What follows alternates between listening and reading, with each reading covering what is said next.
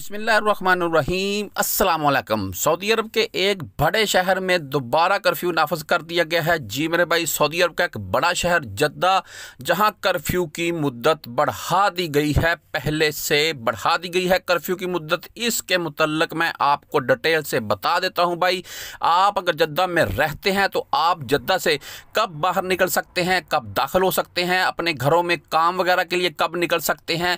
اور اس کے متعلق جو بھی ڈیٹیل وزارت داخلیہ کی طرف سے آج دی گئی ہے۔ وہ میں سب آپ کے ساتھ شیئر کر دیتا ہوں اور جو میرے دوسرے شہروں میں رہنے والے بھائی ہیں، کیا وہ جدہ ابھی جا سکتے ہیں یا جدہ میں اگر موجود ہیں تو جدہ سے باہر نکل سکتے ہیں، یہ بھی میں آپ کو تفصیل سے بتا دوں گا۔ ابھی سب سے پہلے میں آپ کو بھائی یہاں یہ بتاتا چلوں کہ یہ کرفیو لگانے کی ایک بڑی وجہ سعودی عرب میں بڑھتے ہوئے کرونا وائرس کے کیسز ہیں جو آپ حضرات کو پتہ ہے۔ آج بھی چھبیس سو کے لگ بھگ یعنی کہ پچیس سو اکانوے کیس۔ آج ریکارڈ کیے گئے ہیں سعودی عرب میں اور جدہ میں چار سو انسٹھ، چار سو ساٹھ کیس آپ بول رہے ہیں آج ریکارڈ کیے گئے ہیں خالی جدہ میں۔ تو اس لیے کر جدہ میں کرفیو کی مدت بڑھا دی گئی ہے۔ تو سب سے پہلے بھائی میں یہاں کو بتاتا چلوں، جدہ میں یہ قانون صبح ہفتے والے دن سے لاگو کر دیا جائے گا۔ اور یہ چودہ شوال سے لے کر ابھی آپ اپنی سکرین پر دیکھ رکھے ہوں گے، اٹھائی شوال تک رہے گا یعنی کہ پندرہ دن یہ حکم جدہ میں جاری رہے گا۔ اس کے بعد دیکھا جائے گا کہ جدہ میں کیا کیس کم ہوتے ہیں، کہ زیادہ ہوتے ہیں۔ پھر اس کے بعد یہ کرفیو مزید بڑھایا جائے گا یا کم کیا جائے گا، اس کے متعلق بعد میں آنے والا وقت ہی بتائے گا۔ فی الحال، سعودی سعودی عرب کے بڑے شہر جدہ میں پندرہ دن کا مکمل کرفیو لگا دیا گیا ہے۔ یہ مکمل ابھی کرفیو کی میں آپ کو ڈیٹیل بتا دوں۔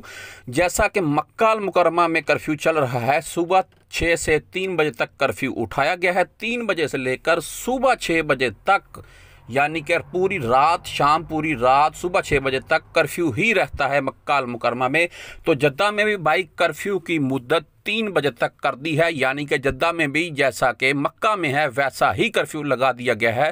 تین بجے سے لے کر صبح چھ بجے تک جدہ میں کرفیو رہے گا۔ صبح چھ سے تین بجے تک کرفیو اٹھایا جائے گا جدہ سے۔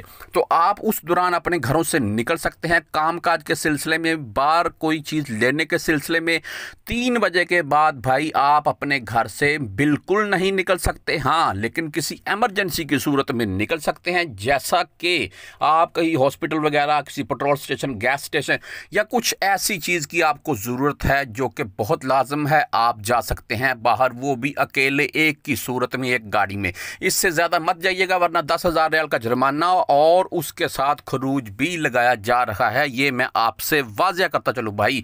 تو ابھی بات کریں گے جدہ میں جو باہر کے شہروں میں میرے موجود ہیں بھائی، وہ جدہ میں کیا داخل ہو سکتے ہیں کہ نہیں ہو سکتے ہیں؟ یا جدہ میں جو موجود ہیں، وہ باہر کسی دوسرے شہر جا سکتے ہیں کہ نہیں، یہ ابھی آپ صبح چھ سے تین بجے تک جدہ میں داخل بھی ہو سکتے ہیں اور جدہ سے باہر بھی نکل سکتے ہیں، یہ میں آپ کے ساتھ واضح کرتا چلوں۔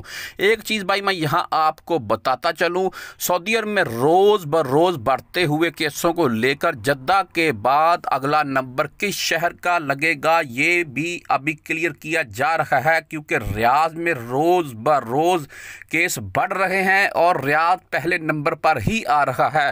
تو ریاض میں بھائی آج بھی سات سو انیس کیس ریکارڈ کیے گئے ہیں، جو کہ کافی بڑی تعداد ہے۔ ہو سکتا ہے آنے والے ایک، دو یا چار دنوں بعد ریاض اور اس کے علاوہ کچھ اور شہروں میں کرفیو کی مدت ایسے ہی کر دی جائے جیسا کہ جدہ میں کی گئی ہے تین بجے تک۔ تین بجے کے بعد ان شہروں میں کرفیو ہوگا۔